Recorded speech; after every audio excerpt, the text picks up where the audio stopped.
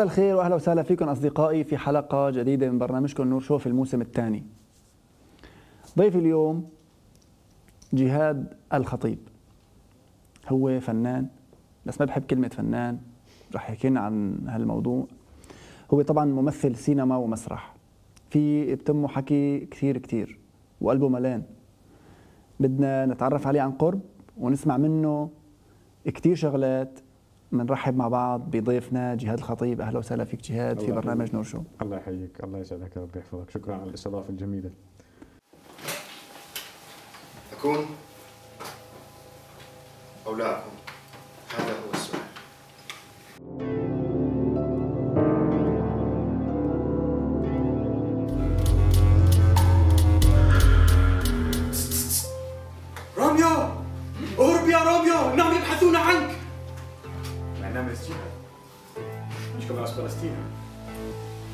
Ich bin Araber.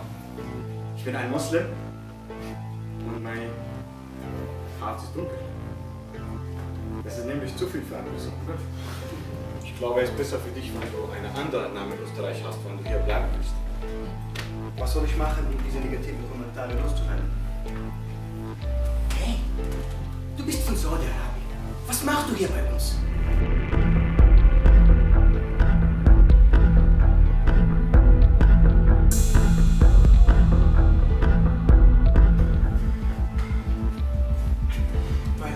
War voller Menschen überall. In, mein, in meiner Arbeit, in meiner Schule. Aber in dieser Zeit von meinem Leben, ich konnte keinen Kontakt mit Menschen wirklich machen. Ich konnte einfach keine Freunde haben. Meine Familie. Ich habe ich hab meine Familie nur einmal, jede acht, jede zwei oder drei Monate besucht. Und mein Dorf ist nur eine Stunde von Ramallah weg. Und das genau war das Dschihad für mich. Du.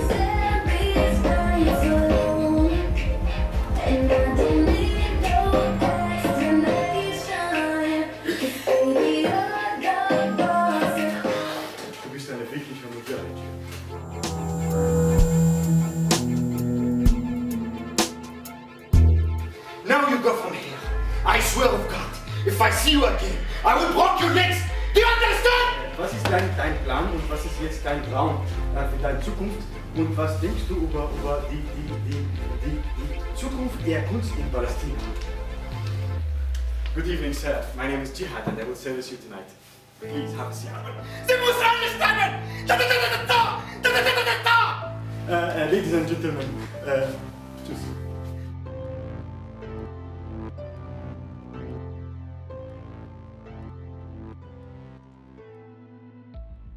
يحفظك جهاد الخطيب.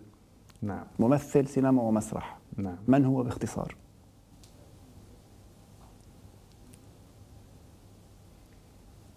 يعني حطيتني في سؤال صعب. للأسف. آه يعني الإنسان عنده طموح إنه يعمل إشي جيد في الحياة قبل ما يحين وقت المغادرة. يعني وهذا الحكي طبعا بيد ربنا ف بحاول أعمل إشي جميل وإشي بآمن فيه وإشي يغير في الواقع اللي أنا لما ولدت فيه أو لما خلقت فيه شفت إشي غلط وحبيت أغيره.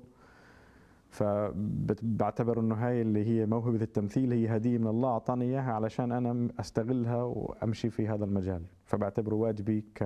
كإنسان حصل على هاي اله- الهبة أو الهدية من ربنا إنه يستغلها في شيء إيجابي في تغيير ما أفسده البشر في الع... على القليل في العصر اللي أنا عايش فيه. الله المستعان. نعم. جهاد أنت فلسطيني؟ نعم. وماذا تعرف عن فلسطين؟ فلسطيني أنا أول شيء انولدت في السعودية. عام 28 4 عام 1988 لما انتقلت لفلسطين كان عمري 10 سنوات. بعديها قررت أنا وأخوي الأكبر مني إنه نضل في فلسطين وما نسافرش مع أهلي على السعودية. فأخذنا القرار وضلينا في العام 98 سنة 98 وبعديها بعد بعام بعد بسنة 99 لحقونا أهلي وبلشنا نستقر فلسطين ونبني اللي هو بيت وكل شيء تمام و... آه، فلسطين البلد اللي تربيت فيها 17 سنة اللي عشت فيها وعانيت فيها من من من ظلم الاحتلال ومن ظلم المجتمع في نفس الوقت. يعني هذا موضوع فيه تشعبات كثير طويلة عريضه و- وللأسف الشديد يعني أنا ولدت في غربة وعشت في غربة وما زلت في غربة. لأنه كنت حتى في بلدي في فلسطين أو البلد اللي تربيت فيه حسيت بالغربة دائما. لأنه ما ما بعرف كيف أوصل لك الشعور. يمكن الشعور ما فيش ما, ما بوصل بكلمات. فهمت علي كيف؟ إنك تشعر بغربة بغربة في بلدك هذا يعني شيء أصعب الغرب أصعب أنواع الغربه إنك تشعر غربه في وطنك. الله المستعان نعم فاحنا مبلشين شغلات سلبية أخي من أول ما بطلع دم عيني. طيب دراستك جهاد؟ أول شيء درست خلصت مدرسة الثانوية العامة في ال 2005 2004 2005 بعديها كنت حابب أدرس تمثيل في سوريا. طبعا هاي موهبتي من وأنا طفل. يعني وأنا في البيت أهلي عارفين إنه خلص هذا بده يكون ممثل أو بده يدخل مجال اللي له علاقة بالتمثيل والفن. طبعا تأثرت كثير وأنا طفل بمسرحيات دريد لحام وسينما مصرية وأشياء زي هيك. كان أبوي يشتري فيديو شريط الفيديو أشرطة الفيديو ونحضر في البيت. نعم.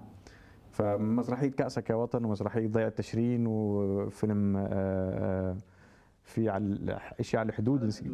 آه، عبد الودود إيش اللي بيكون في دريد لحام شخصية عبد الودود. فكلها أثرت في شخصيتي أو خلتني أحب هذا المجال. وكمان أثرت في نوع التفكير اللي عندي شوي إنه لأنه كل هاي المسرحيات كانت تحكي ضد ضد الظلم وضد الاضطهاد وإلى آخره فصفت هاي الأشياء تربت معي من وأنا طفل. أو تعلمتها وأنا طفل والحمد لله اكتسبتها من الفن يعني. فبعد ما خلصت المدرسة الثانوية العامة في فلسطين قررت إني أروح على سوريا. ادرس تمثيل ولكن طبعا الأهل قالوا لا مش عارف إيش وخليك عنا ولساتك صغير على القربه وإلى آخره. فأعطوني خيار إني أدرس يعني بدي أقول فرضوا علي. نعم. وعسى أن تكرهوا شيئا وهو خير لكم. صدق الله العظيم. ففرضوا علي إني أدرس تمثيل آه عفوا إدارة أعمال. فدخلت مجال إدارة الأعمال مع إني مش كنتش حابه يعني. في فلسطين. نعم خلص إنه ادرس ويلا أي حاجة عشان تسلك أمورك. فبدأت أدرس من سنه 2005 لل 2009 لحد سنة 2009 أربع سنوات. درست طبعا خمس سنوات مش أربع سنوات اداره الأعمال بكالوريوس إدارة اعمال بال 2009 أخوي خبرني إنهم إنه سمع خبر إنه راح يفتحوا مدرسة تمثيل في رام الله. حلو. بتعلم الفنون المسرح والدراما والتمثيل وإلى آخره. أنت خلصت البكالوريوس هون؟ نعم نعم. تمام. لا إدارة اعمال لسه ما كنتش مخلص. كان لسه عندي مادة. حلو. فعلى طول يعني تحمست للموضوع ورحت لمدرسه التمثيل وقدمت وكل شيء تمام وعملنا اللي هو اختبار أظن كان مدته ثلاث أسابيع أو شهر آه، ورشات عمل وتحضير والى آخره كونها أول مرة يعني أول مدرسة في تاريخ فلسطين بتصير. حلو. تمثيل يعني على مستوى. حلو.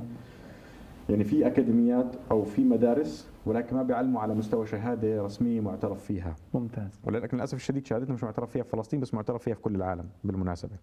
شهادة التمثيل؟ نعم مش معترف فيها كبكالوريوس معترف فيها كدبلوم بس في كل دول العالم الثاني الأخرى معترف فيها كشهادة تمثيل بكالوريوس. هذا يعني من هذا من حظ. من, من لا ممكن شيء بيضحك يعني بتاع كيف بلدك ما معترف فيه لك بالضبط. آه كدبلوم مش كبكالوريوس ف آه تقدمت أول عام 2009 وبعد الاختبارات وبعد مش عارف كنت متوقع نتائج إيجابية مش عارف إيش حكوا لي اسفي مش راح نقدر ناخذك السنة. السبب ما كنتش جاهز أو السبب إنه شافوني مش مناسب أو السبب إنه حكوا يمكن أوكي مش آه، بدي أسميه القدر. يعني بدك يعني ما فيش شيء بدون سبب بصير. نعم. فزي ما بقول يعني إنه مرات أشياء بت بت بتفكرنا سلبية ولكنها بتعطيك دافع أكبر إنك تتحدى وإنك تمشي في المجال. فقررت إنه بدي أرجع السنة الجاية راح أرجع. فكان عندي فرصة ممتازة لأنه زي ما حكيت لك كنت لسه مخلص إدارة الأعمال. خلصت إدارة الأعمال ورجعت. تنطلق. تمام؟ رجعت مدرسه التمثيل. آه نعم خلصت. كان عندي بس ضايل كمان مادة قدمتها كمان بعد فهمت علي كيف؟ اتصلت في جامعة القدس مفتوحة زي كأنه حكوا لي تعال قدم خلصنا يا عم. تخرج فبلشت دراسة تمثيل من 2010 ل 2013 تخرجت في عام 2013 شهر 9 انهيت بكالوريوس تمثيل من آه، آه، أكاديمية الدراما في رام الله وجامعة فولكفانج في ألمانيا. Folkwang Universität der Künste في مدينة بوخم مدينة إيسن في ألمانيا. الحكي قبل الهجرة. نعم. فالحين سنه 2013 نعم. سنه نعم. 2013 طيب. ما هو دور اسمك بين قوسين جهاد في أعمالك المسرحية؟ وما الهدف من مسرحية Mein جهاد أو جهاد و My جهاد بالإنجليزي My جهاد. لأنه سويت منها version ين أو أو نسختين نسخة بالألمانية ونسخة بالإنجليزية. أول شيء من البداية لما جيت هون يعني 2015 هي كانت أسبوعين بعد موجة ال... بدي اسميها موجة من الوفود تبع المهاجرين أو ال أو ال الوافدين الجدد. الوافدين الجدد. 2015 نعم. أنا كلمة آه، فكرة ال- اللاجئين هاي بحبهاش الكلمة لأنه اللجوء هي فعل.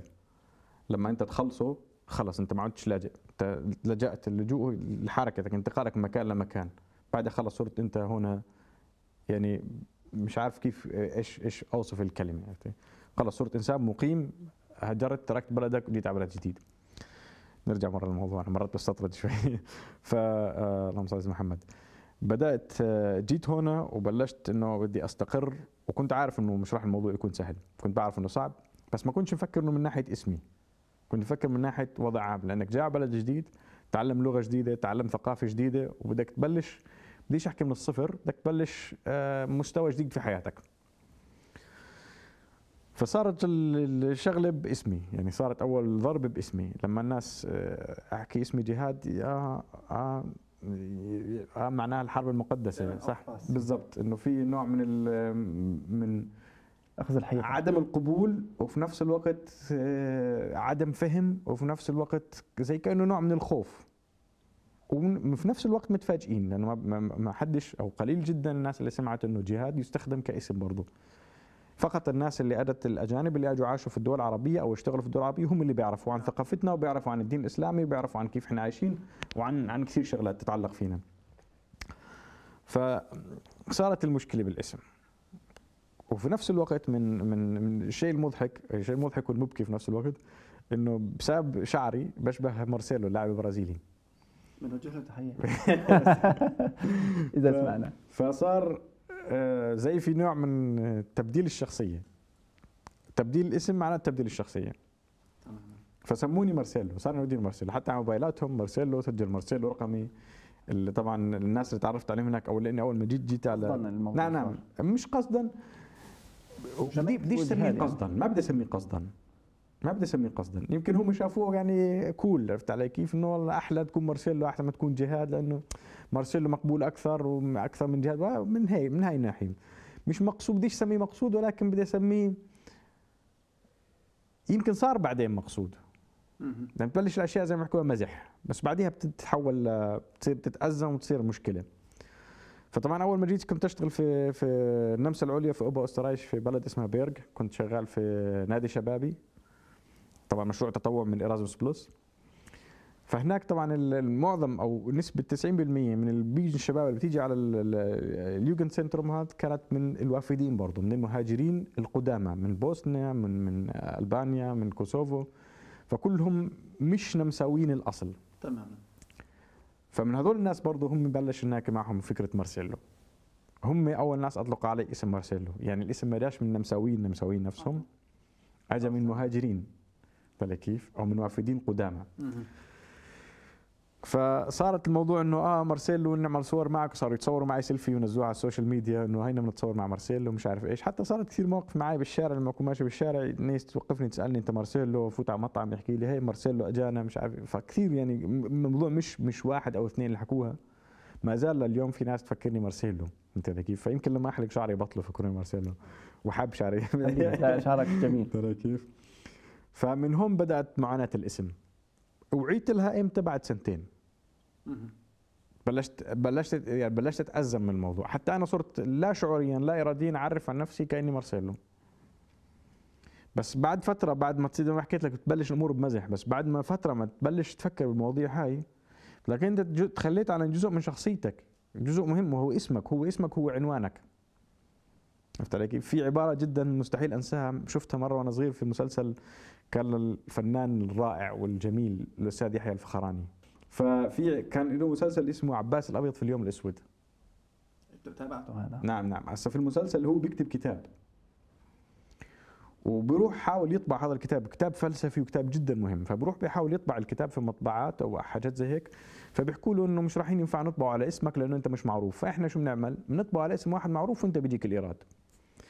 فحكى قصة جميلة عن ال- ال- المناضل الكبير أحمد عرابي الله يرحمه لما نفوه على جزيرة سيلان.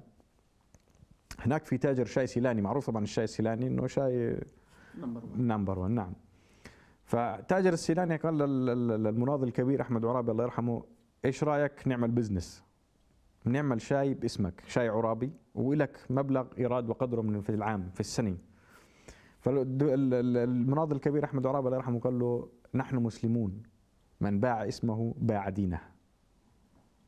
فهاي يعني ما زلت بتذكرها اليوم يعني طفل شفت المسلسل بديش اسميها إذا بعت إذا غيرت اسمي معناته بعت ديني. ما بدي ما بدي أفترض هاي الفرضية. ولكن العبارة نفسها بقيس عليها إذا تركت عني شخصيتي أو تركت اسمي معناته تركت شخصيتي. وبآمن إنه الاسم مختار.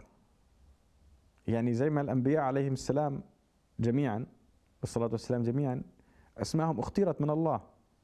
يعني رب رب العزه لما بشر سيدنا زكريا قال له بيحيى سماه يحيى وزي سيدنا المسيح عليه السلام سماه عيسى المسيح عيسى ابن مريم. فحتى أسماءنا بعتقد أو بآمن إنها تسمي من الله إنها اجت من الله. فليش أغير اسمي؟ بس هو الفكرة نحن إنه ككلمة جهاد الآن توسخ هذا هذا المفهوم كجهاد. إنه مأخوذ عنك بمجرد ما أنت اسم- اسمك جهاد معناتها أنت إرهابي. هيك صارت الناس تفكر. أو أو الإعلام هيك وصل لنا الصورة. أنا أحد الناس. أنت بتعرف إنه أنا اسمي الحقيقي ال- الأساسي جهاد.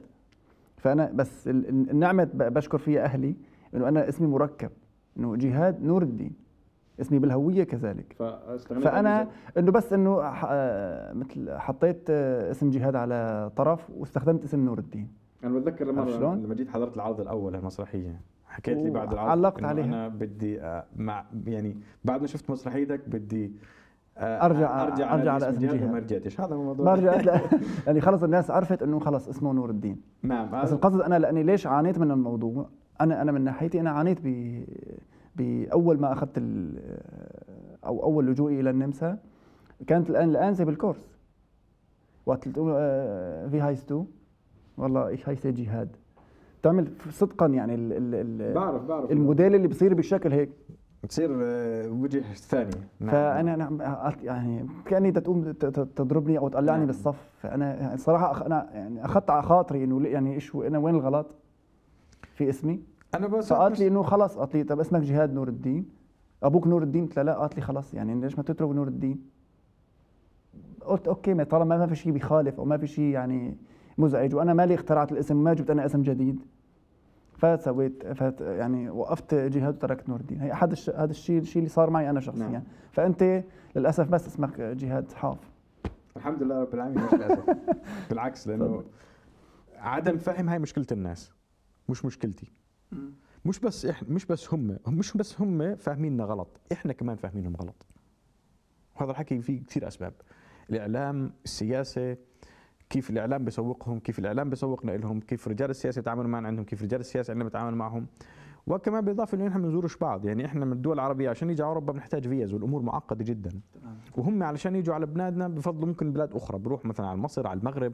الدول فيها كثير سياح بروح على فلسطين بزوروا القدس مدينة القدس الشريف وإلى آخره. ولكن مش مش مش مش يمكن ما بيغلبوا حالهم فعلا لما أنت بتسمع كلمة أو بتسمع خبر معين الإنسان مش سهل عليه يتلقى ويسمع ويردد في الشارع. والله الجهاد معناها حرب مقدسة خلص انتهى انطبع في مخه هيك وانتهينا بس بالنسبة له يعني ممكن تفتح لأنه موجودة برضه حتى إذا تعمل جوجل للاسم جهاد تطلع لك struggling اللي بالإنجليزي معناها ال- ال- ال- الكد والعمل العمل باجتهاد.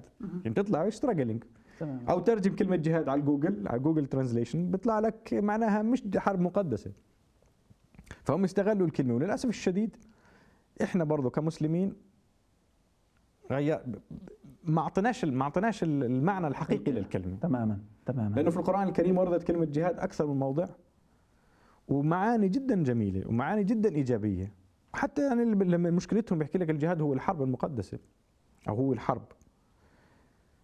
مين دولة في العالم ما ما تدافعش عن نفسها؟ أو مين إنسان بالعالم بلا دين حط الدين على على حدة. تماما. أحكي لك حط الإنسان كله على حدة. الحيوانات حشرات. إذا هاجمت هذا الحشرة أو إذا اعتديت عليها بتدافع عن نفسها. وهذا رد فعل رد الفعل الطبيعي والفطري لأي كائن موجود على الأرض. تماما. سواء كان آه، حتى الفيروسات إذا بتأخذ لها دواء بتدافع عن نفسها. يعني تماما. يعني الموضوع مش مش فلسفه الموضوع. الموضوع جدا فطري وبسيط وطبيعي. فهمت علي كيف؟ ولكن زي ما حكينا إنه الناس استغلت ال ال ال الاسم غلط واستغلت وتعاملت مع ال- الإسلام بشكل عام غلط وتشوهت الصورة بشكل كبير وصورة العرب وصورة الأجانب والى آخره وما زالت. يعني مش بس الموضوع مش ما له علاقة بالدين الموضوع حتى ما له علاقة بالناس أصحاب البشرة الداكنة غير البشرة البيضاء. فأنا كان عندي مشكلة دبل مضاعفة على خمس مستويات. اسمي جهاد جاي من فلسطين مسلم عربي ولوني آه، غامق. فيعني جماعتهم كلهم بعض. بالضبط. انت علي؟ كل هاي الأشياء اجتمعت فيها أنا. فطبيعي هاي ردود الفعل ال- ترى كيف؟ الغريبه تصير الناس يعني قصة طويلة عريضة. والمسرحية اللي عملتها احكي لنا شوي عنها. بالضبط. لما كنا نحكي بالأول إنه بعد سنتين وعيت للموضوع. بعد سنتين أجتني فرصة إنه في مؤسسة آه، في النمسا اسمها كولتور جيما أو في فيينا بتقدم مساعدات أو بتقدم منح للفنانين المهاجرين. حلو. تقدم بروبوزل معين تكتب آه،. مشروعك. تبعث لهم إياه. طبعا بيكون عدد ممكن 120 150 200 300 شخص قدموا لنفس المنحة. بياخذوا من ال من ال من ال من ال 200 أو ال 100 أو بغض النظر قديش العدد بياخذوا 20 أظن أو 15 ومن هذا الرقم بياخذوا أربع مشاريع. أكثر. بياخذوا فقط أربع مشاريع. اللي هم بمولوها. تمام؟ فسمعت عن المؤسسة قدمت آه، والله رحت عليهم على البيت يعني رحت على مكانهم حكيت لهم أنا هيك هيك قصتي وأنا بدي أعمل شيء زيك حكوا لي تمام اكتب وقدم وإن شاء الله بكون تمام. فصديق آه، اللي كان ساكن معي أو اللي كنت ساكن معهم فريدريكو بوجه له التحية طبعا مش راح يحضر الحلقة أنا بالعربي بس لازم اللي من لا يشكر الناس لا يشكر الله. فبشكره جدا إنه بلشنا نكتب في البروبوزل وساعدني كثير في تعديله وفي تنقيح اللغة الإنجليزية الصحيحة. وقدمنا انت المسرحيه بتعرضها بالإنجليزي ولا بالألماني؟ أنا أول شيء عرضتها بالإنجليزي. إنجليزي. بعدين عملتها نسخة بعدين سويتها النسخه بالألماني. وعربي ما سويتها؟ نعم لا. يعني ما, ما فيش حاجة يعني. في الوقت الحالي ما في حاجة. ممكن إذا صار آه، مشروع إني أقدمها في مهرجان عربي أو في أحد الدول العربيه ممكن أسوي ال version عربي. مش صعب الموضوع يعني. فنصحك؟ نعم فسوينا قدمنا ال proposal كتبناه وقدمناه للمؤسسه بعد فترة من الزمن بتأخذ الأمور وقتها فقبلوا المشروع. فكانت هاي يعني واحدة من أسعد لحظات حياتي فهمت علي كيف إني حسيت فيها بالإنجاز إنك هدول الأربعة المشاريع اللي قبلوا نعم نعم. ممتاز. ف والناس كمان حتى لجنة التحكيم اللي اللي اللي, اللي تعرضت عليهم المشروع اللي دعوني الانترفيو معهم بعد ما اختاروا 15 مشروع 15 أو 20 مشروع مش متذكر بالضبط. حكوا لي انه مشروعك يعني فيه شيء جميل أو فيه شيء مميز فهمت عليك؟ مميز يعني بلفت النظر مباشرة ما تسمع يسمعوا والله My جهاد. لا هي كان بالأول جهاد إن فين. آه، جهاد in فيينا. okay. تمام؟ ف آه، قبل المشروع كل شيء تمام بلشت أكتب طبعا. كتبت أول حاجة القصة. القصة كما هي. بلشت أكتب قصتي ك ما كان نص مسرحي كان فقط قصة. فبعد فترة شهر 10 الحكي بحكي في 2017 نعم 2017 شهر 10 أو شهر 9 التقيت في بيان شبيب اللي ممثله فلسطينية مخرجة كانت عايشة في فيينا وبعديها انتقلت رجعت على فلسطين. فعرفت عليها الموضوع. فحكت لي آه، الفكرة جميلة بلشنا نصير في النص. ساعدتني في صياغة النص الإعداد. كون هي عندها تجربة أكبر وخبرة أكبر في الموضوع. فرجعت كتبت النص من جديد كتبته من قصة لنص مسرحي. ممتاز. وبعديها بلشنا بلشت يعني طبعا الموضوع زمن قياسي. هي لما كتبنا المسرحية طبعا كنا ما كانش في عندنا مكان نعمل فيه البروفا فكنت أروح عليها كانت تشتغل في السفارة الفلسطينية في الملحق الثقافي. فكنت رايح على السفارة الفلسطينية في المكتب في وقت الفراغ كنا نشتغل على النص. فبعدها اقترحت إنه تعال نعملها بس قراءة مسرحية. فاقتنعت بالفكرة إنه تعمل مسرحية بدك وقت وبدك مكان تعمل فيه بروفا وإلى آخره. الموضوع مش مش يلا يعني مش فزعه شباب زي ما بيقولوا فروحت على البيت وطلعت على حالي في المراية وتخيلت إني بقرأ في النص للجمهور فحكيت راح يطلع الموقف إنه جدا ممل وما راح حدا يجي يعني راح يطلعوا بعد ال... بعد خمس دقائق راح يطلعوا. فلازم ألاقي حل يعني. فاتصلت بصديق لي فعنده هو استوديو عنده مكان للتدريب. علي رضا بوجه له برضه التحية هو برضه أفغاني مش راح يحضر لأنه بس كمان مرة بشكره على بعدين. نعم وبشكر بيان برضه على مجهودها. فأخذت ال- الأستوديو ثلاث أيام. خلال ثلاث أيام هي بلشت شغل على على المسرحية. بروفات. نعم بروفات فقط ثلاث أيام كان الشغل على المسرحية. ما شاء الله. طبعا كانت بيان برضه موجودة كانت تساعد في موضوع الإخراج. وصار ال Premiere ومشيت الأمور. ومن وقتها لليوم يعني ما زلت من كان العرض الأول 12 14 12 2017 ولليوم ما زالت عندي عروض وبحاول قدر الإمكان اعرض المسرحية. بعد هاي الفترة أجاني عرض من من Festival der Regionen إنه من مدير المهرجان إنه أقدم العرض عندهم ولكن اشترط إنه باللغة الألمانية عشان اقدمه كنت اقدمه في النمسا العليا. حلو. فترجمت زوجتي ترجمت زوجتي بالمناسبه نمساويه فترجمت زوجتي النص الألمانية وعرضته في مهرجان فاستيفال دي من هذاك الوقت لليوم وأنا بعرض بالنسخة الألمانية. ممتاز. طيب هلا بدي الهدف منك الهدف هو كل الحكي هذا كله لسه بدنا الهدف شوف الهدف. زي ما حكيت بالأول إنه في شغلة مهمة بالنسبة لي كانت توضيح سوء الفهم الموجود. على كلمة جهاد مش بس على كلمة جهاد على كثير شغلات أخرى يعني زي ما بحكيها بنحكي بالفلسطيني عليها وقيس إنه فكرة الفهم الخطأ للمهاجرين، الفهم الخطأ لأصحاب البشره الداكنة، الفهم الخطأ للمسلمين، الفهم الخطأ لأي واحد وافد جاي من بلد أخرى. فكان بالنسبة لي هو موضوع دفاع عن النفس. بالدرجة الأولى دفاعي عن نفسي إنه عشان أحكي فكرتكم عن كلمة جهاد مش زي ما أنتم شايفينها. كمان كان بالنسبة لي تحدي كبير لأنه هي كانت بالنسبة لي أول تجربة. كعمل ال monodram المونودراما كممثل واحد one man show وككتابة. ككتابة نص أو ككتابة قصة. ثالثا برضو كمان عشان آه، آه، أحاول أوصل للناس هاي فكرة إنه تعرفوا على حياتنا وتعرفوا على المعاني اللي إحنا فيها عشان تفهموا إيش إحنا بالضبط عايشين؟ وإيش إحنا المرار اللي عايشينه؟ وكيف إحنا كيف إحنا بتعامل معنا من من من في ال في في تحديدا مثلا في فلسطين أو أو في السعودية أو في كل هاي الدول في الدول العربية بشكل عام.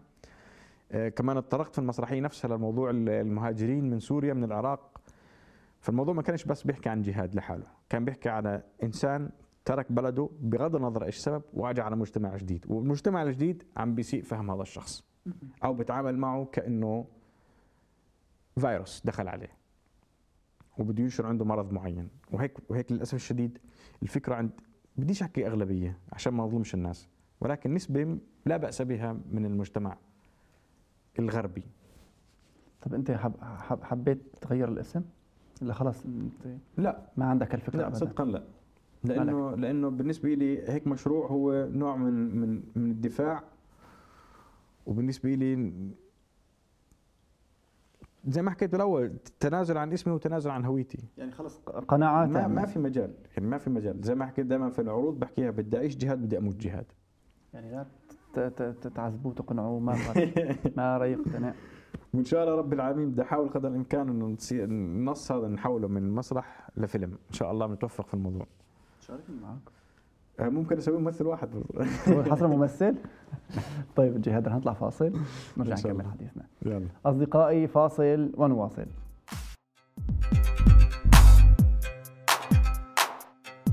ورجعنا لكم أصدقائي من جديد. بنرحب مرة ثانية بالأستاذ الفنان جهاد الخطيب.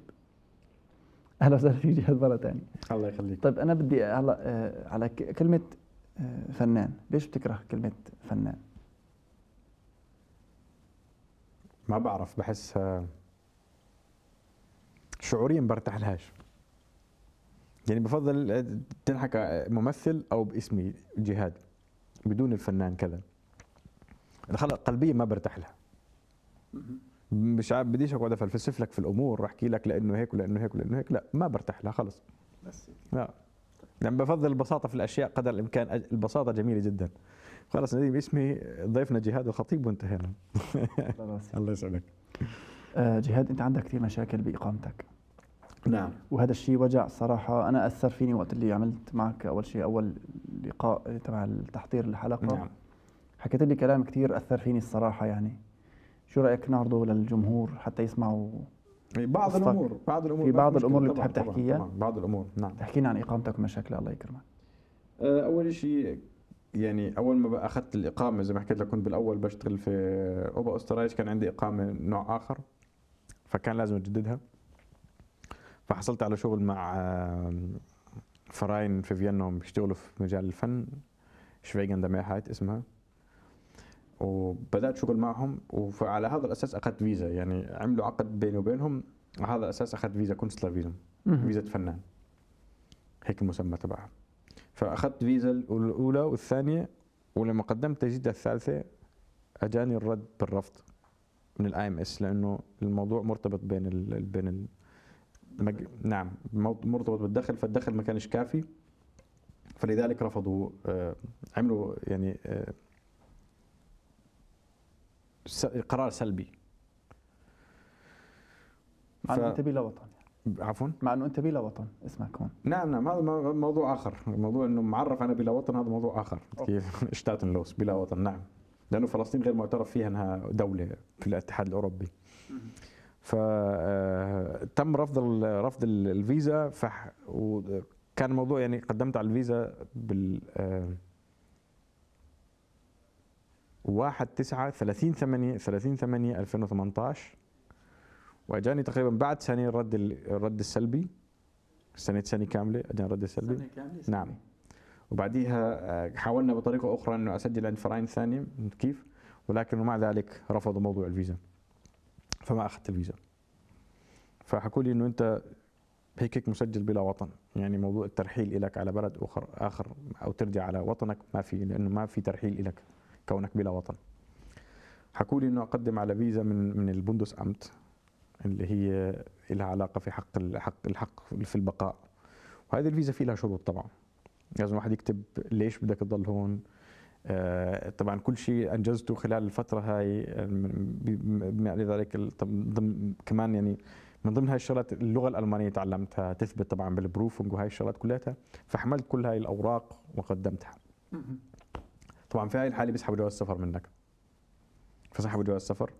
اللي اعطينك اياه تبع المؤقته لا هذا جواز سفر وهو من السلطة الوطنية الفلسطينية مش من آه جواز. السلطة. نعم جواز السلطة. okay. فسحبوه. آه، طبعا هيك القانون. فموجود الجواز عندهم حاليا. وبعديها آه، بيعطوك خلص ورقة إنه أنت قدمت. استنى ممكن الموضوع ياخذ سنة أو ست شهور. وفي هذه الفترة موضوع العمل شوي معقد. okay. في نفس الوقت مساعدات لشخص زي ما في لا من AMS ولا من Sozial ولا من Caritas ولا من Diakonie ولا من أي مؤسسة. ابدا. لا ما في. لأنه لأنه ما عنديش ما عنديش ما عنديش فيزا. يعني معيشتك الحاليه الآن من شغلك ال privat اللي بتعمله. نعم. من عم عروضك مسرحياتك أو نعم، ال Spende بنسميها نعم نعم نعم نعم. نعم انت علي كيف؟ فقط. ما زلت لحاليا في الوقت الحالي شهر أربعة يعني مسجل عند مؤسسة فنية وما زلت بشتغل معهم وبقدم بعض الأشياء وبعمل ورشات عمل وإلى آخره. طبعا بجانب بجانب إني بشتغل في مجال التمثيل في المسرح والسينما آه إلى إني كمان بدر يعني في مجال بشتغل كمان في التدريب آه أو تعليم أو تسميه مش تعليم بقدر هو تدريب الدراما للأطفال وللشباب. يعني اشتغلنا مشروع مع في فيينا مع مدارس وكان مشروع ناجح وبعده صار ورش آه مسرحية منه. مع طبعا مع المؤسسة النمساويه اللي كنت أشتغل معها أو و آه هيك ماشي الأمور يعني. وما زالت يعني طبعا هسه دخلت تحدي جديد يعني. امبارح كان عندي Deutsch Prüfung A zwei فدخلت معي ال Visum تبعي بس هي اللي خالصة منتهي مدتها منتهيه فدخلت قعدت على الكرسي كل شيء تمام. فانهم بيحكوا لي ما بينفع تقدم لأنه أنت فيزتك منتهيه صلاحيتها. فطب يا جماعة الخير يعني فبيحكوا لي ما بينفع تقدم لازم لازم تطلع من القاعة. فطلعت من القاعة طب بحكي لهم إيش الحل؟ فبحكي لي بتروح على ال ÖIF بتعمل فيه Formular بتعبيها Ausnahme استثناء وبتقدمها وبعديها بتقدر تقدم ال ال الاختبار. فرحت على ال ÖIF شرحت لهم الوضع. طبعا ما قدرت أشوف حدا لأنه الموضوع شوي بيروقراطي. عشان توصل تعرف توصل لحدا بدك يعني مسألة طويلة عريضة. فحكيت معهم تليفون حكيت لهم هيك هيك الوضع حكوا لي بدك تروح على ال Bundesamt وتخلي ال Bundesamt يكتب لنا إيميل إنهم بدهم Formular ويعبوا ونحن نبعث لهم إياها وهم بيعبوها بيرجعوا يبعثوا لنا إياها وبعدين تقدر تقدم ال Prüfung رحت على ال Bundesamt حكيت لهم هيك القصة يا جماعة الخير يعني ال ÖIF حكوا لي إنه أجي عليكم علشان أنتم تبعثوا لهم إيميل وشرحت الموضوع. فحكوا لي بدك ترجع على ال ÖIF تحكي لهم منا ورقة مكتوب فيها الكلام اللي بتحكيه. إيه. آه. فيعني الله المستعان سحبت حملت حالي ورحت رجعت على ال ÖIF فقلت لهم يا جماعة الخير طبعا كان بصعوبه شوي لو وصلت لحدا لأنه ال Abteilung تبع ال Prüfung يعني شوي معقد الوصول له فحكيت معهم تليفون حكيت لهم يا جماعة أنا هون وأنا قصتي واحد اثنين ثلاثة ارجوكم ساعدوني بحل. يعني خلوني على الاقل أشوف حدا منكم. فحكت لي موظفة تعال اطلع فوق فطلعت على الطابق فقالوا ثلاث موظفين فشرحت لهم. فصار يحكوا لي آه فاهمين عليك ولكن وإلى آخره. فالموظف قرر حكت لي okay خلص أنا بتساعدك الموضوع بنكتب لك الورقة. فراح دخلت جوا كتبت الورقة. بختم اليوم توقيع اليوم إنه السيد جهاد الخطيب بده كذا كذا كذا وهذا الحكي لازم ال Bundesamt تسوي له لأنه موثوقية ال Bundesamt بالنسبة لل ÖIF عالية جدا. تمام يعني كان بينفع أنا عندي صورة عن جواز السفر تبعي بس بيحكوا لي طب هذا الحكي طب إحنا شو باكد لنا أنتم ولكن لما يجي من مؤسسة زي ال Bundesamt أو مؤسسة رسمية في الحكومة النمساويه بتعامل مع الموضوع بشكل رسمي لأنه موضوع يعني موثوق فيه. فرحت اخذت ال- الورقه ورحت اليوم الصبح الحمد لله قدمتها عند ال Bundesamt ولعله خير إن شاء الله. يعني لسه ما قدمت ال Prüfung. لا لسه. مع الأسف. وال Prüfung بالمناسبة محتاجه علشان أقدم للفيزا اللي قدمت لها. لازم أثبت إنه أنا. بالضبط مستواي في اللغة الإنجليزية. الحمد لله مستواي في اللغة الألمانية ممتاز ولكن كمان هم محتاجين لإثبات. تقدر تتجاوز ال Prüf ال Prüfung آه الحمد لله كل شيء ثلاثة. الحمد لله الحمد لله. يعني ممكن اتجاوز كمان ال B eins أو أو ممكن أد... ما شاء الله لغتك آه الحمد لله. يعني طبعا ساعدني كمان الحديث مع زوجتي سهل الموضوع تعلم اللغة سهل. في Kontakt قواعديا شوي صعب ممكن على الكل. كتابه شوي صعب ولكن محادثة وفهم وقراءة جيد ولكن الحمد لله تمام. فمحتاج ال Prüfung علشان أحصل على حق العمل. يعني ممكن يعطوني فيزا ولكن بلا حق العمل إذا ما كانش عندي ال Prüfung فكل الأمور مرتبطة في بعض. يعني لا بقدر أقدم على هاي بدون هاي ولا بقدر أقدم على ال- على ال Prüfung بدون ال- بدون جواز سفر فكل الأمور داخلة في بعض متشابكة هيك. أسأل الله إنه يلطف فينا يا رب. الله يلطف. قطعت لي قلبي. لا يا زلمة هيك. هذا الواقع يعني. مع الأسف. طيب آه، جهاد إذا بدنا نحكي عن أعمالك قبل الهجرة. أعمالك المسرحية أعمالك كسينما مسرح شو بتحكي لنا؟ أول شيء نرجع لسنة 2019 لما دخلت مدرسة التمثيل في رام الله. تعرفت طبعا على مجموعة من الممثلين الفلسطينيين المشهورين معروفين عالميا. 2019 2009 عفوا. شكرا على التعديل. شكرا. فكان من ضمنهم الأستاذ صالح بكري. بوجه له تحية والحب والتقدير. ولوالده الأستاذ محمد بكري كل التحية والحب والتقدير. والده حاليا بواجه محكمة عند عند الحكومة الإسرائيلية لأنه عمل فيلم بال 2002 أو بعد 2002 اسمه جنين جنين كان بيحكي فيه عن معركة مخيم جنين والمجزرة اللي صارت بالمخيم جنين من الاحتلال الإسرائيلي. ف آه، نعم فهو الحين بيتحاكم. فبيوم من الأيام كتبت للأستاذ محمد بك للأستاذ صالح بكري إنه رسالة إنه نلتقي في رام الله. فشفته في رام الله. كنا في مقهى مقهى رام الله اسم المقهى. فحكيت له إيش آه، في شيء جديد؟ قال له بحكي لي استنى. فطال تلفونه واتصل في حدا. فحكى له أنت كنت بتدور على ممثل. حكى له آه فبحكي له عندي واحد. كان له فيلم طبعا. فحكى قال تمام ابعث لنا إياه مش عارف إيش سويت ال- الكاستنج وآخذ على الفيلم. كان اسمه أول تجربة سينمائية لي فيلم طويل اسمه حبيبي راسك خربان. للمخرج الأمريكي من أصل لبناني سوزان يوسف اسمها كان الفيلم بيحكي عن قصة قيس وليلى ولكن بطريقة يعني طريقه فلسطينية. مع الممثل قيس ناشف والممثل ميساء عبد الهادي. ميساء عبد الهادي وقيس ناشف كمان ممثلين معروفين. من نعم. أدوار البطولة؟ آه يعني دور رئيسي جدا. كان دوري اخو لبطلة الفيلم. كان عندي ظهور كويس يعني. حلو. فهاي كانت أول تجربة سينمائية. بعديها لما دخلت مدرسة التمثيل طبعا في مشاريع بنسويها كان آه 2011 مسرحية آه حلم ليلة صيف لشكسبير. عرضناها في فلسطين وفي ألمانيا في مهرجان شكسبير. المهرجان هو في مدرسة التمثيل في ألمانيا. المهرجان هو عبارة عن خمس دول. بيعملوا نفس المسرحية لمدة 10 أيام. كل كل دولة بتعرض عرضين كل ليلة مدى خمس أيام. بلغاتهم كل واحد بلغته. طبعا اشتغلنا المسرحية باللهجة الفلسطينية واشتغلت شخصية بتحكي باللهجة النابلسية. كان شخصية واحد خياط اسمه ستارفلينج الخياط. فقدمناها في ألمانيا وبعد. بعد الخمس أيام هاي لكل دولة يوم بصير عرض international كل الممثلين من كل الدول على ال stage بخمس لغات. يعني إذا في شخصية نور مثلا نفترض ان هاي المسرحية بتحكي بالنص بالألماني شخصية نور العربيه بتحكي النص تبعها بالعربي وكلهم بتفاعلوا على المسرح فكان تجربه جدا مثيره للاهتمام جدا يعني جميل. غريبة هي. تحكي على 70 ممثل على المسرح أو 60 ممثل في نفس الوقت. كلنا بيحكوا بلغته. كل واحد بلغته لما بيجي دورك طبعا بيجي دور شخصيتك كل واحد بيحكي بلغته فبتلاقي من كل شخصية خمس خمس أشخاص أو ست أشخاص كل واحد بيحكي بلغته. بعديها سنة 2013 آه، مسرحية روميو وجولييت طبعا. آه، كمان شاركنا فيها في مهرجان في في ألمانيا كانت ترجمة آه، المرحوم الشاعر والكاتب والأديب الفلسطيني المرحوم حسين البرغوثي وهي كانت من أصعب التجارب لأنه النص كان جدا يعني جميل ولغة عربية يعني فصحى مي- مين أصح فصحى ولا فصيحة بالمناسبة؟ فصحى. فصحى نعم فكان اللغة العربية فصحى كان صعب علينا حتى إحنا إنه نفهم النص. فعشان هيك أخذنا شوية وقت مع أستاذ برضه أستاذ اللغة العربية في مدرسة التمثيل الأستاذ قيس الله يذكره بالخير. كمان ساعدنا كيف ننطق صح كيف نتكلم صح شو معنات هاي شو معنات هاي. واشتغلنا 2013 روميو جولييت بعدها 2014 آه، الساحر أوز في ألمانيا في مسرح أولم. آه، 2015 طبعا كنت ما زلت في فلسطين وبعدها إجيت هون. آه، بال 2016 Traiskirchen اللي كانت مسرحية عن آه، مخيم اللجوء Traiskirchen بعدها 2017 مسرحيتي. طبعا شاركت في بعض الأفلام أدوار جدا بسيطة. بتذكر فيلم اللي سوينا 360 درجة برضه عن اسم جهاد كنت أنت برضه فيه. مارسيلو. نعم. في 2018 اشتغلت Crossing Jerusalem مسرحية لكاتب آه، بريطاني من أصل يهودي. جوليا باسكال مسرحية جدا جميلة. وبال 2019 في الوقت الحالي يعني زي ما حكيت بقدم عروض ما زلت مسرحيتي واشتغلت في مجال التدريب مجال تدريب الأطفال آه، في المدارس. وكمان اشتغلنا مسرحية مع الأطفال اسمها Kinderfressen Kinderfressen leicht gemacht مش عارف شو الترجمة بالعربي.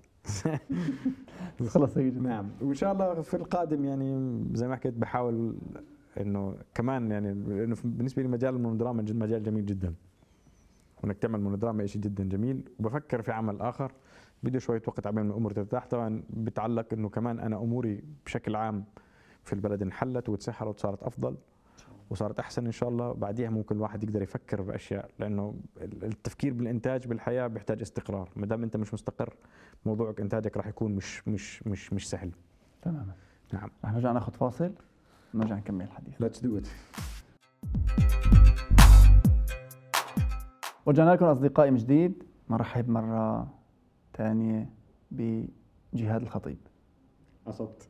هيك سريع. سريع آه، جهاد لو أنت كنت صاحب قرار مسؤول بين قوسين شو هو أول شيء بتعمله وأهم شيء وبتنفذه؟ بدي شوي قبل ما أجاوب على السؤال أروح آه، أحكي شو أنا وجهة نظري من صاحب القرار. أو المسؤول بتخيل هو شخص موجود في مكان علشان يسهل حياة الناس قدر الإمكان وعلشان يحل مشاكلهم.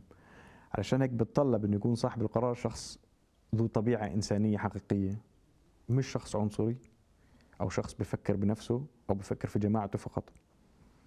لأنه في كثير ناس أصحاب قرار كويسين أو جيدين أو بتعاملوا بطريقة منيحة مع جماعتهم مع أتباعهم ولكن مع الغير بتعاملوا بنوع من العنصرية أو بنوع من من تقليل ال... أنهم أقل قيمة أو أقل قدرا منهم. يعني بضرب دائما مثل لو كنت أنت جار صاحب بيت صاحب بيت بتتعامل مع أسرتك بشكل جدا رائع ومع لما تفتح الباب تطلع على جارك بتشتمه. فكيف أنت هل أنت هل, هل أنت تعتبر إنسان كويس؟ هذا بس مثال بسيط علشان أوضح الصورة. فلو كنت صاحب قرار بحاول قدر الإمكان أعمل أشياء اللي تسهل حياة الناس. مش اللي تعقدها وتصعبها لأنه كفاية لأنه كل لأنه إحنا شباب نفترض إحنا شباب في سن في السن اللي لازم ننتج فيه. لما تكون هيك أمور معقدة في حياتنا وهيك عقبات عقبات وصعوبات في حياتنا كيف نتوقع ننتج؟ وكيف نتوقع نشوف المستقبل بشكل بشكل مشرق؟ يعني بتصير حالات وصارت كثير حالات في الوطن العربي وبتسمع ما زلنا اليوم عن حالات انتحار لشباب وإلى آخره أو حالات حتى تحول من من من من مسار نسميه طبيعي يا اما للتشدد الشديد في الدين يا اما للانحراف تماما مخدرات وما مخدرات وكحول وإدمان والى آخره. فبتخيل صاحب القرار أو لو كنت أنا صاحب القرار قدر الإمكان بحاول اسهل حياة الناس بحاول اساعدهم إنهم ينتجوا في حياتهم لأنه إذا إذا إذا صاحب القرار ما ساعد الناس أو ما ساعد الشباب كيف راح يكون في تقدم للمجتمع وكيف راح يكون في تقدم. في كيف راح يكون في نهضة وهذا الحكي اللي ما زلنا بنعاني منه في دولنا العربية إنه تقدم النهضة عندنا في الدول العربية بطيئة. لأنه ما في تكافؤ في الفرص. الشباب تقريبا ما عندهم ما عندهم ما عندهم أي دور فعال وقوي في مجال تطوير المجتمع وتطوير تطوير تطوير حياة حياة الناس. ف فكرة إنه أكون مسؤول في شغلة جدا مهمة. إنه الانسان أنا دائما بحكي والله لو أصير رئيس اللي أعمل كذا كذا كذا كذا. بس لما واحد يصير رئيس بتغير. وهذا الحكي مش بسيط. هذا هذا الواقع. هذا الواقع. وهذا عند كل الناس. حتى نفس المرشحين لمجلس الشعب. بقول لك أنا يعني بدي أعمل نعم 100% وقت أول ما يوصل- الكرسي. بشوف فلوس بشوف قرارات بشوف إنه صار عنده سلطة ومعارف أو إلى آخره بيستغلها في الطريقة. إيه، تماما تنافي. شو كان بيحكي عنه بالأول؟ ما تتمنى تكون مسؤول. امبلا بس مش مكان جدا يعني مكان وين ممكن أغير ممكن أ- بتمنى أكون مسؤول بس بتمنى ما اتغيرش بتمنى يعني نفسي ما تأمرنيش بالسوء. إن النفس لاماره بالسوء إلا رحم المنصب. ما هو المنصب يملكك. المنصب هو بالنهاية تكليف مش يعني هو شيء يعني بتخيل وظيفة رئيس الدولة يعني بيقولوا رئيس الدولة الفلانية بيعملوا تقرير تلفزيون رئيس الدولة الفلانية راح زار مش عارف إيش وبتلاقيهم هذا وظيفته أصلا. هذا شغله. هو موظف عند الشعب الرئيس أو أو أو أو, أو الوزراء هم موجودين عشان خدمة الناس مش عشان خدمة مصالحهم الشخصية. وهذا الحكي للأسف الشديد في كل دول العالم مش بس في الوطن العربي. بنسب متفاوتة. يعني ممكن تلاقيه إنه أكثر ممكن هون تلاقيه أقل بنسب متفاوتة. وبنعرف كثير فضائح صارت في العالم من سياسيين ومن رجال اقتصاد وحتى ممثلين ورجال دين كله في هذا المجال. هو مجال اللي فيه الفساد فهمت علي كيف؟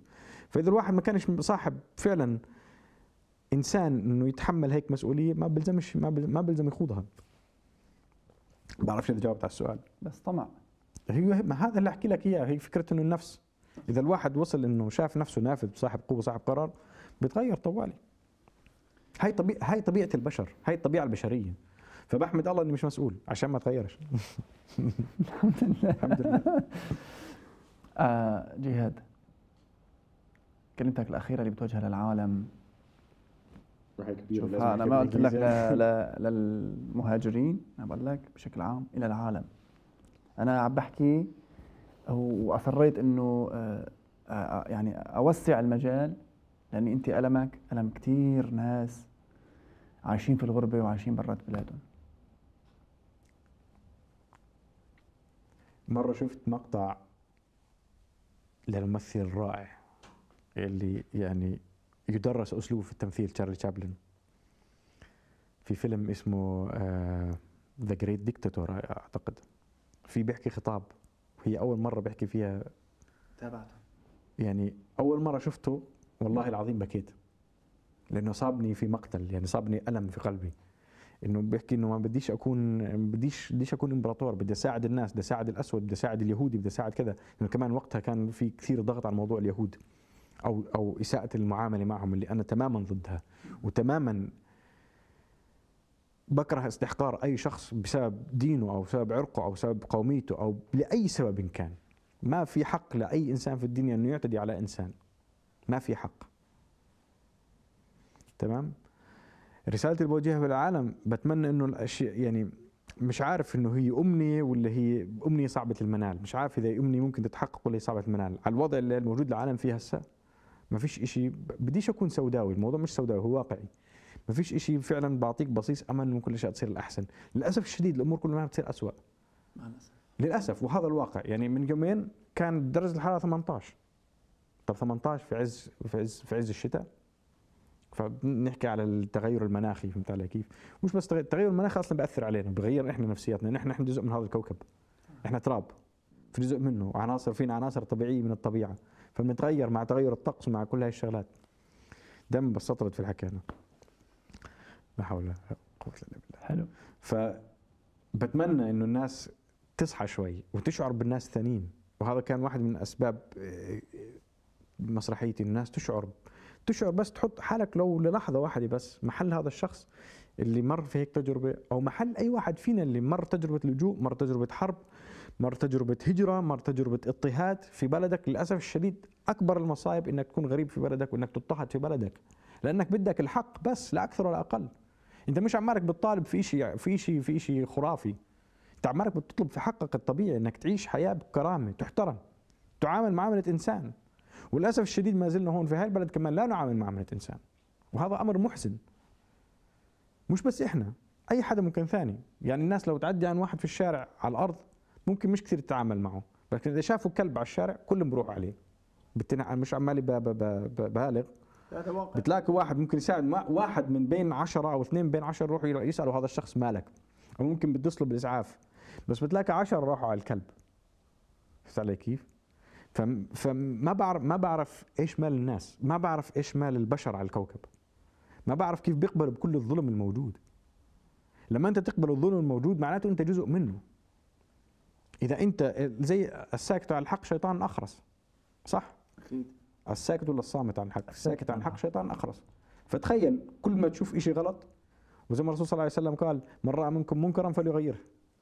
بيده ومن لم يستطع بلس- بل- بلسانه ومن لم يستطع بقلبه وذلك أضعف الإيمان. يعني اللي بكل لساننا والحمد لله إحنا في بلد شو ما تحكي ما حد يعني بتح- تحكي رايك ولك حق تحكي حرية رأي حرية الرأي مو- موجودة ومقدسة ومحترمة في هذا البلد. وهذه نحمد الله عليها. مع عدم التعدي على الآخرين. آه نعم هو وهذا هو حق أصلا إنك تحترمني تنتقدني بطريقة محترمة. مش تنتقدني وتجرحني وتتقلل من قيمتي وتقلل من كرامتي. فاللي بتمناه إنه الناس تصحى بتمنى من الله إنه يساعد الناس تصحى. وهي كمان تساعد حالها تصحى. إنه هدفنا بالحياة مش اللي إحنا يعني منيح إحنا لازم نبني ونتزوج ونخلف و والى اخره بس مش هذا هو يعني هذا تحصيل حاصل لأن أنت كنت موجود لازم تعمل هاي الشغلات. هي أصلا طبيعية بتنعمل. ولكن دورك الأساسي إنه تساعد الناس. شو بيخسر الإنسان يساعد أخوه الإنسان؟ ما بحكيش على دين وما بحكيش على قومية. بحكي على فيجوال عالمي. شو بصير إذا الإنسان ساعد أخوه الإنسان؟ شو بنقص منك؟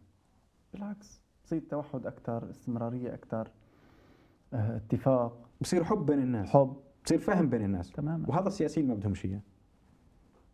يعني بيحاولوا قدر الإمكان يشتغلوا ضد هم بيحطوا قوانين احترام حقوق الإنسان واحترام كذا واحترام كذا واحترام كذا على عيني وعلى رأسي أحلى من هالكلام ما في مبسوم له بالعشرة.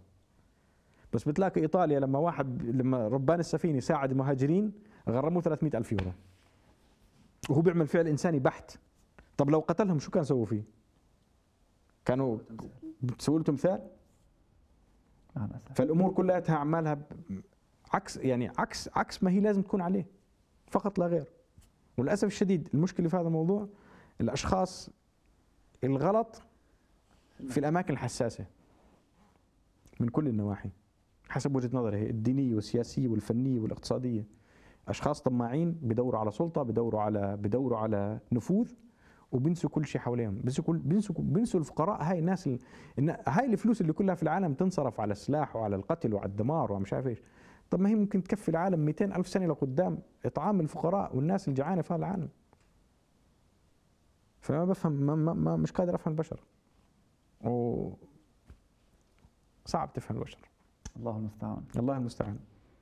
الله يصلح حوال الناس. يا رب. آمين يا رب. خلي لي قلبك والله. الله يحفظك. عم تخليني أنت هيك عم تشجعني. وعم تعطيني فعلا طاقة إيجابية. بتمنى. إنه إنه أنظر إلى المستقبل كما أنا. بدي مو كما غيري بده. مش ضروري اللي حكيته إنه عن الواقع هذا الحكي لا يعني إنك تستسلم ولا يعني إنه الإنسان يحكي لك خلص كل شيء أسود بديش أعمل ولا شيء لا بالعكس.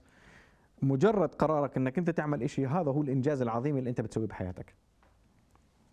وهذا التغيير البسيط اللي بتتركه في قلب الناس بتتركه عند كل شخص. أنت لما تساعد شخص تترك في قلبه حب كلمة شكرا لما يحكي لك شكرا هاي بتسوى الدنيا كلها. أي والله. ابتسامته في وجهك وهذا الرسول صلى الله عليه وسلم تبسمك في وجه أخيك صدقة. صدقة يعني كأنك تمنحه منحه يعني صدقة تؤجر عليها. تماما. لأنه بتعطيه طاقة إيجابية لما تبتسم في وجه الشخص. يعني شوف قديش جمال الموضوع. فهذه يعني بتمنى ان الناس تيجي وقت ناس تحب بعض. إن شاء الله. إن شاء الله. إن شاء الله.